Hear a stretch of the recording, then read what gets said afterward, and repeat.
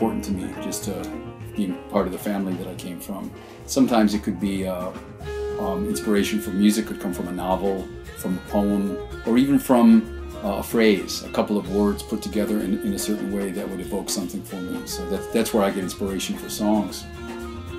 My dear friend Barbara Sfraga gave me a collection of her poems, and um, which I really enjoyed. And one of them really resonated with me, and that's um, that's what became this suite from the current album. Uh, the name of the poem was Love is a Pendulum.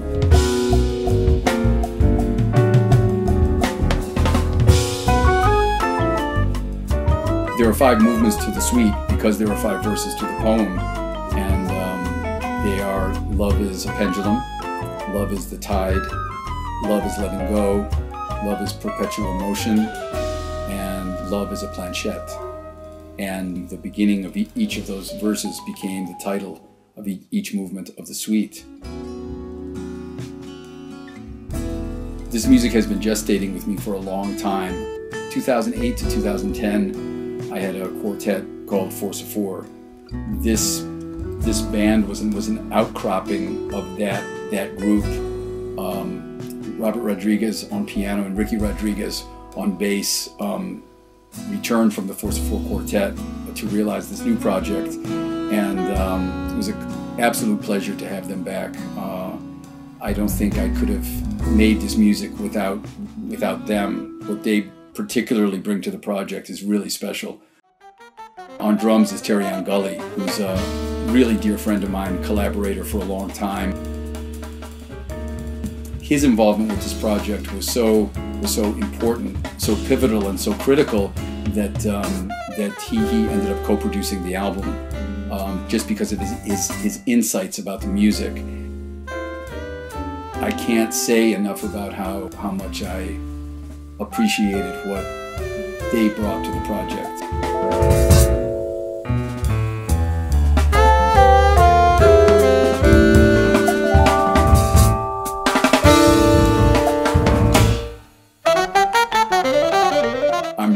Particularly happy to have the guests that I have on, on this recording. I wanted to do something um, that was a little bit of a larger band and to do different combinations of instruments. So um, I have Rosario Giuliani, who's uh, my, my favorite alto player, who flew in from Rome to be a part of the session, and Donny McCaslin on tenor saxophone. I've, I've been wanting to do something with Donny for a long, long time, and with Love is a Pendulum, we finally got the opportunity to, you know, to meet in the studio. Also, Paul Bollenback is playing guitar on the recording. Paul is uh, someone who's been an important friend and colleague to me for a long time.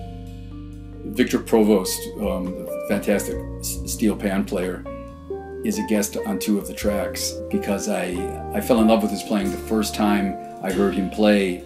He's, uh, he's a, just a remarkable improviser. I've been a fan of Theo Bleckmann for a long time, so I was thrilled when I called and uh, he graciously accepted the offer to, to guest on a track.